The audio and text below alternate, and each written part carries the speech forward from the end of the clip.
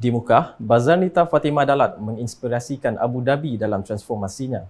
Menteri Pembangunan Wanita, Kanak-kanak dan Kesejahteraan Komuniti Sarawak, Datuk Seri Fatimah Abdullah berkata, Bazar Nita Fatimah Dalat bukan sahaja untuk dinaik taraf, malah persekitaran yang bersih dan ceria menjadi fokus utama kemudahan itu.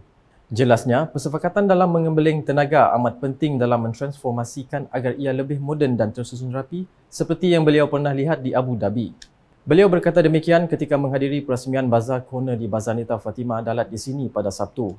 Dalam pada itu, pengurusi Jawatan Kuasa Pengurusan dan Penyelenggaraan Kemudahan JKPPK Bazar Nita Fatimah Dalat, Kaunselor Moon Inal turut berterima kasih kepada pengarah urusan Erika Sendian Berhad, Datuk Bobby Ting di atas sumbangan menyediakan 40 kerusi dan 10 meja melalui program Tanggungjawab Sosial Kooperatif CSR. Untuk rekod, setakat ini Bazar Nita sudah mempunyai 36 peniaga yang telah berdaftar termasuklah 4 kios baru yang telah pun beroperasi. Turut hadir Setiausaha Majlis Daerah Dalat dan Mukah MDDM Abdul Razak Awang Bini dan Pegawai Khas Pusat Khidmat Dalat Said Seman.